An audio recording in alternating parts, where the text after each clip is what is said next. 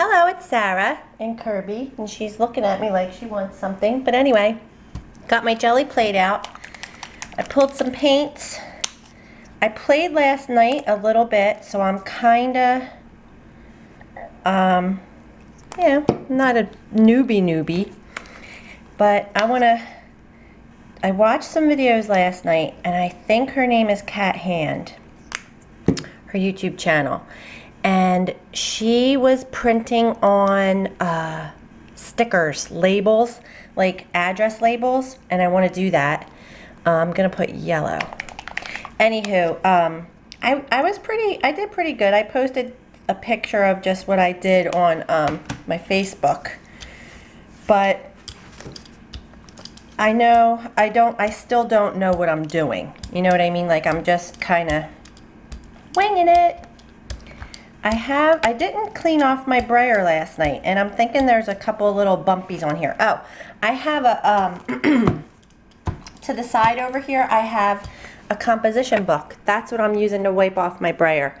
So I'll just keep turning pages, and um, let's do one of my little stamps that I made.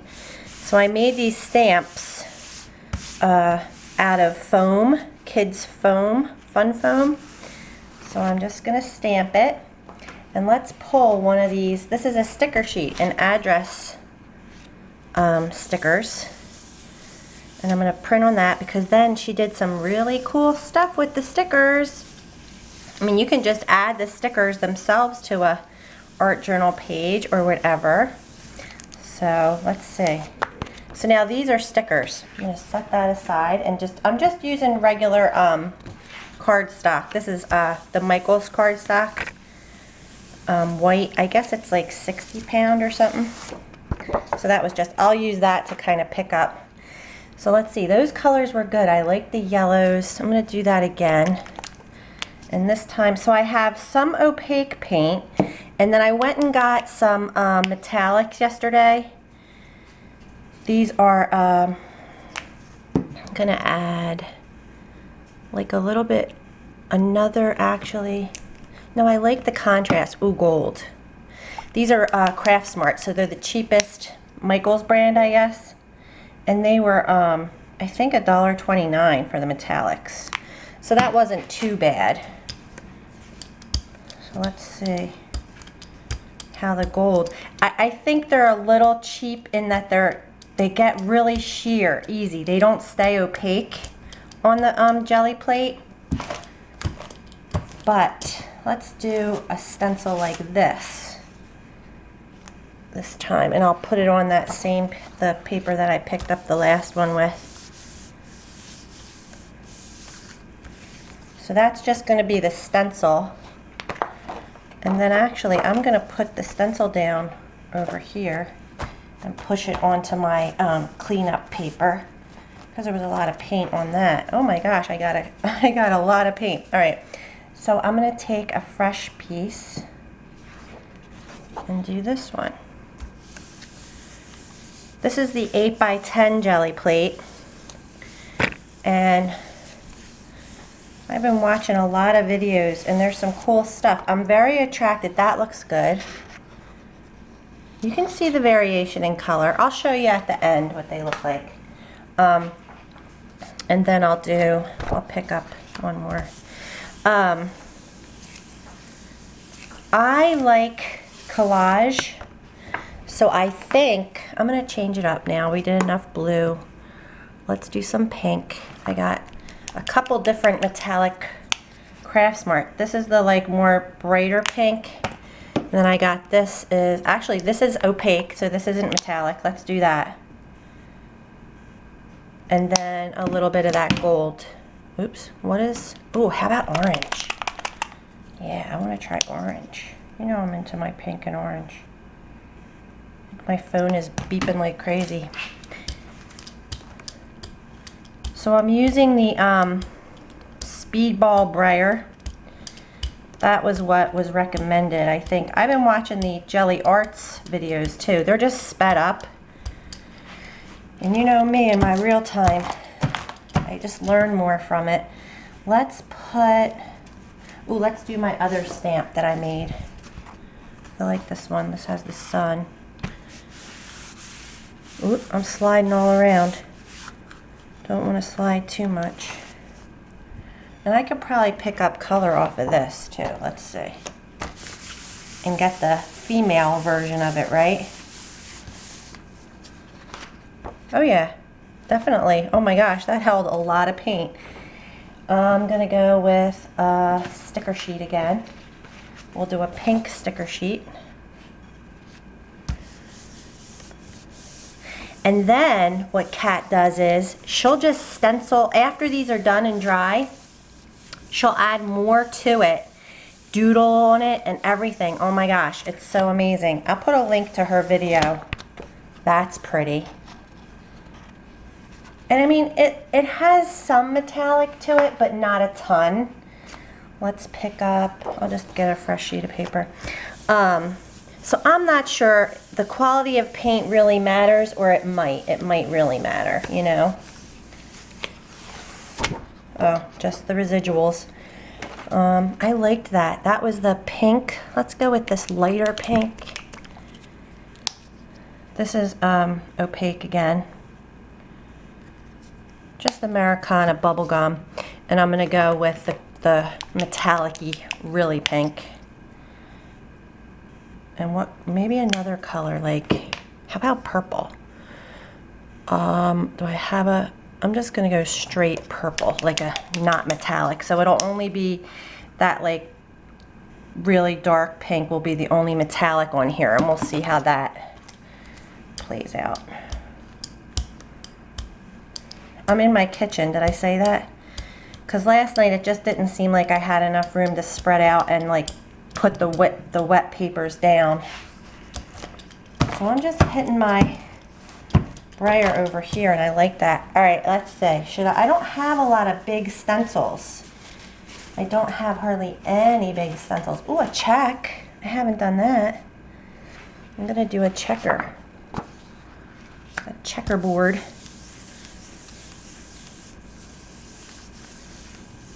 And then, oh cool. Then I pick up the stencil, but I'm going to lay the stencil down on something too. Because, let me turn the page here. There's a lot of paint left on the stencil. A lot of paint. Look at that. That was like the, the other, you know, of the stencil. All right, now quick, I gotta go to, I'm gonna just put a fresh paper down on this.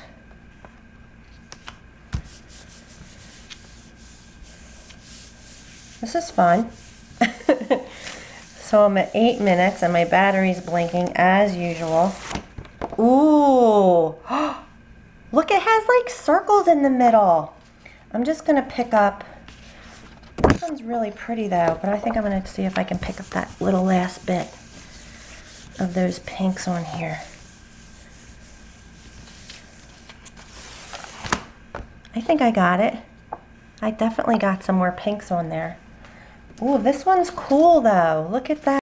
Okay, that was 10 minutes. 10 minutes goes fast. So I pulled some different stuff, but I want to do some red and blue. This is a blue Martha Stewart where I turned the fan on. It's blowing all around. Um, red and blue make purple, right? So let's see what this looks like. And I'm going to use some of those um, I made some, what are they called? Uh, combs. Ooh, I don't know. It's not getting very purpley, but I like it. Ooh, I'm putting that on my, it does have a reddish purple. So I have these flowers. These are stamps. And I wanted to see what that would look like. Oh, I like that. And put them on my, there's, I have, I don't know. Listen, guys, these are just pulled from my stash Oh wow, this looks like so Hawaiian. Doesn't that look Hawaiian? I like this.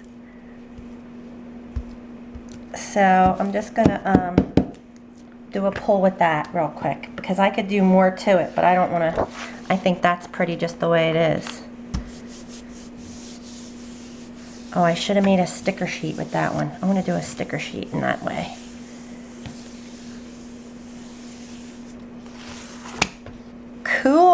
Ooh, that's bright. Isn't it bright? So what one? Oh, I put the blue metallic and then the red is flat. Wow, that's like one of the brightest ones I've ever done. I'm gonna put whatever's under there on top of this. This is just, this was just the checkerboard. See if any of that will come off the Gelli plate. Eh, not really. All right, I wanna do that again, but maybe not as much red. I'm gonna go like less paint. Try and do less paint. And that dark blue again, metallic, because they tend to be sheer. The metallics aren't coming up as opaque. So let's see what this does. See, it's not spreading. Oh, there we go. It's still way redder. That red. You know what? I wonder if I squirt a little bit on now. Oh, I should hurry because I don't want it to dry.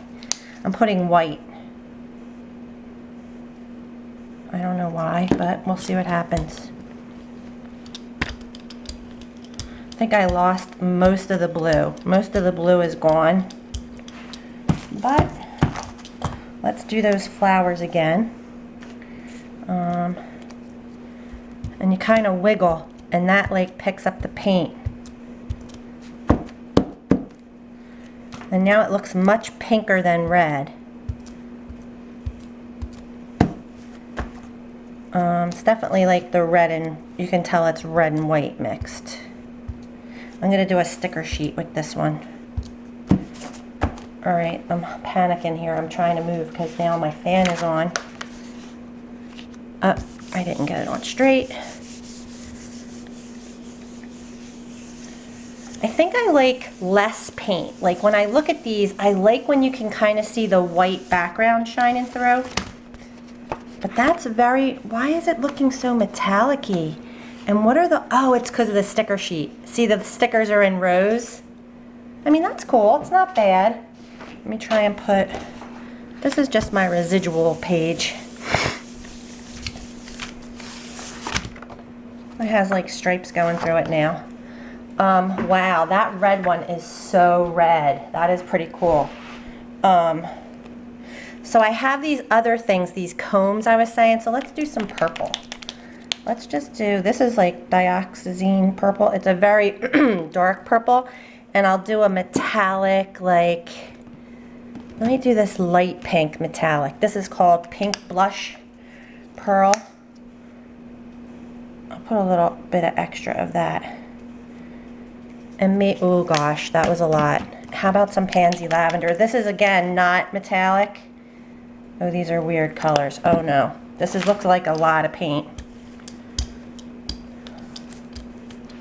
it's like it leaked over the side. It's so much paint. Oh man, Sara. That's okay. It's all right. I'll turn the page and scrape off my brayer. The metallic is there. Oh, so now I'm going to do one of these things. Let's see. I'm to go, ooh, ooh, ooh. And then maybe some circles. I have this cork. Oh, I have this. Boop, boop. You know, I, I like making noises when I do it too. It's weird. So some circles. Um, I have, oh, this kind of circle. Boop. This will pick up paint like it's a, um, what are these called? Spouncer. So a spouncer, that makes a different kind of thing. And then I have this one, and it's just like smaller. This is a Faber-Castell type of thing. I don't know. All right, let's pull it. Pull it, pull it.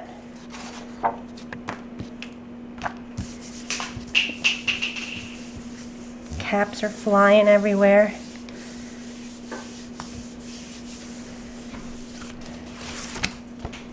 It's cool. Hold on, I want to pick up the rest of it before it dries.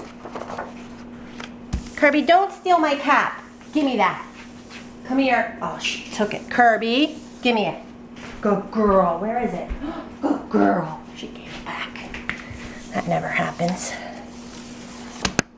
Oh, cool. That's cool. So here's what that one looked like. It's a lot of paint. I got a lot. But I like, I mean, look, I made a pattern without a stencil just from using stuff that you have in the house. This red one is crazy. Look, and I mean, it has a lot of metallic. What did I use? That blue? Yeah, I used the blue metallic. This one's kind of my residual one that I've been just wiping everything on. And look how that's coming out. Like it has a lot going on. I'm to do my stamp again. But I like, I'm to try that one more time. Let's pick, what colors don't I have a lot of? Yellow. I'm going to do yellow, orange, and green. How about that? I don't know. So here's some ye yellow. That's kind of like an orange yellow, actually. And here's yellow. Now, what color metallic? Ooh, green metallic. I have a green metallic. I'm running out of time. Time moves on so fast. Okay, so let's see what this looks like. Ooh. See, I kind of like it like that. I don't want it to change. Like, I'm going to do that. So if you just go in one direction, right, that might be what happens there. Um, gonna do just stripes. And then I'm gonna do circles. Yay! Circles.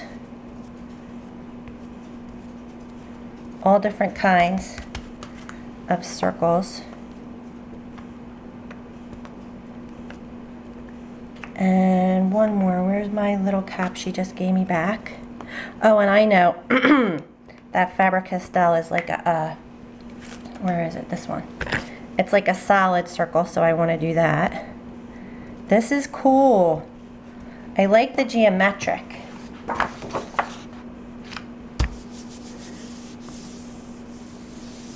I think I'm going to add this second pull to that checkerboard one.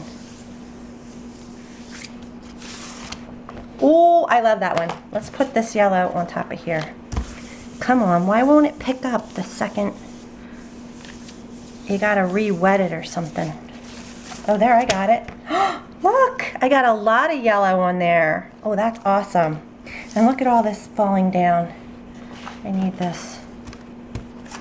Oh, got it. So that was a good one. See, without a stencil, you can still do it. All right, I don't have much time. We're at nine minutes. So I'm going to go away and come back and just show you them all. All right, be right back. Okay, so I'm back in my craft room with a great big pile of stuff in front of me. Um, this is a sticker sheet. Um, I am going to continue on with these. All these sticker sheets I'm going to stencil over possibly. I love how the cross hatching happened. And if you look inside each cross hatching, there's little like dots. I didn't do that. I think the Gelli plate like it bubbles up. The paint like pulls away from it and it made dots. Happy accident, right? I think Matt's on his way home with Maya's first day of school today. This one, like I am loving the cross hatching, just adding that, but these are all sticker sheets. Um, I have about, I don't know, I kind of, I went crazy, so I didn't stop when um, I shut the camera off last time. This one's very gold and orange. So these are all sticker sheets that I can play with and add to. I'm going to do some doodling on those. Like I said, um, Cat, I'm going to look up her channel. I want to say it's Cat Hand. My computer wasn't working this morning, so I couldn't do it. So then these are just some of the um, this was just a dark purple blue one. There's blues and greens underneath, but then this, I, I did two pulls on a lot of the pages too. So I'm kind of figuring out how many pulls do I want to do. I think this was just one pull with one of my big stamps with like three or four different colors. This was a daisy stencil that I have and I just did half of it and then flipped this. I did, I did it in a couple different pulls. and again, I'm going back. I can see where I did the, like, I pulled some cross hatching. I don't even know. Like, that's the thing. That's why it's called mono printing because you're just, you, you can't re reproduce it. You get one shot. That's it. Um, I did try a couple times to like recreate the colors. Like, look at this one. This one would be great on a sticker sheet because there's so many colors and I could play with, like I think this might have been a residual, meaning like a second pull. I did a second pull like three or four times on this one piece of paper, I think. I don't know. It could be. I could be completely wrong. Um, so yeah, and this is all on cardstock. I did do one pull on magazine paper too. Um, because Cat does that. Like, look at this, is just stripes. But I can do lots of stuff on top of this one. I'm going to see about that. Because I want to try, oh, look at this was one of my faves. The cross hatching in red. So I did a pull with the flowers, like you saw me do, and gold and pink. And then I did some cross hatching, and it was the second pull of the cross hatching. Just gave me a little subtle red cross hatching. I love that one. So you guys, it was fun. Like it was hard to stop. this was just a purple, but then I had green on my Gelli plate and I just put, this was the flower green. I went through a stencil um, just to add, this is a piece of magazine paper. And you know, like see there's some dark writing. There's a couple of dark places, but I really covered this up. I don't know, I just wanted to see, and I kept forgetting to use it. I only did one. I kept forgetting to grab it because I had a bunch of, um, and then this is one of my, my reds with the cross hatching, but look at all, I didn't do that. That's not a stencil or anything. The Gelli plate did that all by itself. Do you see the little, um, it looks like um, film roll, like a film, the edge of a, an old film. You know what I'm talking about? Oh my God, super cute. So this was just my one of my reds that I went back and added uh, green, I think. Yeah, that's green. So crazy. And then this I ended up putting yellow on top. Some of them I'm not crazy about. But if I do collage with the papers that I'm making here, I'm planning on, and then these are ones that I did yesterday. This was just all residuals again, and I call it residuals, but like this was my second pull, just a bunch of second pulls on one sheet of paper. Um, I really love those big stamps I made, so I'm going to look into making some more foam stamps uh, just with fun foam and like because I used the flowers today and that was awesome, but I think um, I would like to make different shapes and bigger flowers and different stuff like that. Um, what was I saying? I don't know. Oh, collage. Again, oh, look at this one, purple and yellow. This purple was done. This was from yesterday, but this yellow I pulled today because I had a lot of yellow on my Gelli plate and it was, I just felt like adding that, but I like purple and yellow. And this one would have been another good sticker sheet because it's got lots of colors. And this is that daisy um, stencil again. Pink and orange. Uh, oh, I love my swirls. See the swirls? But then you can see the big circles too. I need bigger stencils. I want to get some big stencils. I don't know where to get them. There's so many stencils. This one has daisies in the background. This is from yesterday. There's so many stencils on the market. This one's cool. This has like the male and female versions of that um, flower stencil. So it looks like I did it a few times on here. That's cool. This, the blue was, I did it through the stencil, so I only pulled up what was in the stencil. But like the pink looks like I did the negative because, oh anyway, that's cool. That's a cool one, I like that one. That's my stamp again. Just some green swirls. Sometimes the plain ones are good. Oh, this was yesterday. I was playing with a lot more stencils. Um, numbers and letters I have under there. This is the daisy underneath swirls, I think. I like the swirls. It's just simple. Red and orange, and this looks like the front and back. So like I stenciled and then I flipped the stencil over and got like the negative side. And some more of that. Looks like I just put the stencil down after I used it and kind of wiped it off on here. And that's the other thing too. I used, um, I told you I used a, um, composition book to, to um, clean my brayer. So look at these. These are cool. Cat uses these too. Because look, you don't even know what you're going to get. And you might just get a happy accident of color, right? So like I could stamp on top of that. And that's a background for an ATC card. Oh, you know what I did though? I used front and back. I should only use one side in case I, well, look, this has pink, green, purple, so three colors. It was fun. I mean, and the thing is, it, it didn't take long and you get a lot. So now I have to use up these papers. I have to try and figure out a way to use them up. So then I started stamping off my stamp that I had. I was like stamping that off too. And here's my blues and greens and purples because this is the, the last page I started to do. So I thought this was a better idea because yesterday I was using this like, this is Maya's, like you know that kids paper you get? Because I don't have any deli paper. But this is, I thought this was, this reminded me of like what you wrap a sub with. Um, here in New Jersey, we have subs, not heroes or hoagies. But I was using this yesterday sitting at my desk. So this has a lot more color. But I'm going to save it and I'm going to stamp on top of it and doodle and see if I can use this in collage. Or maybe just cut it into shapes. That's what I'm thinking because I bought these two huge canvases.